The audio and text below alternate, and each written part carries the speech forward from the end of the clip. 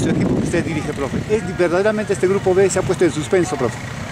Mira, yo eh, lo que he dicho es que para nosotros clasificar tenemos que ganar todos los partidos en casa.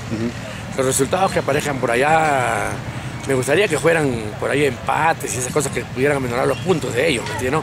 Pero sé que vamos a llegar con algunos, vamos a llegar con 16-16. No sé, puede ser binacional, porque Binacional en estos momentos ha sacado la ventaja de tener eh, en estos momentos eh, los tres puntos adelante, ¿me entiendes? ¿Cierto? Entonces eso nos lleva a que la Binacional tenga que venir acá y que tenga que caer, ¿me entiendes? Acá tiene que caer.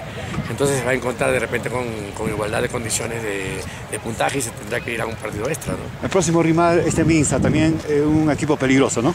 Sí, lo es. Eh, nosotros jugamos un partido allá, aun cuando el árbitro nos, nos llevó a, a ese resultado, pero ahora estamos en nuestra casa y vamos a ver lo que ofrecimos allá tenemos que superarlo, lo, superarlo acá. ¿Cómo estamos en las tarjetas, en la acumulación de tarjetas amarillas?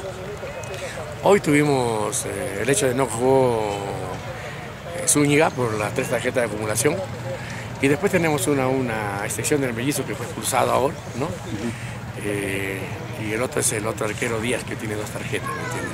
Los demás tenemos lo, una tarjeta nada más. ¿Qué decir a la afición, al profesor José? Que tenga tranquilidad, que el camino se hace al andar. Que lo importante en la vida no es llegar primero, sino saber cómo llegar. Esto de la Copa, tengo mucha experiencia en esto. ¿no? Si bien es cierto, hoy tenemos oportunidades de darle a los chicos de acá. ¿no? Y estamos luchando con un equipo que tal vez de repente ustedes sueñen con lo que tuvieron el año pasado o en épocas anteriores. Pero ahora estamos luchando con un equipo que le está poniendo un poquito de, de amor, un poquito de, de, fuerza a esto, ¿no? Y que vamos encontrando los resultados como queremos.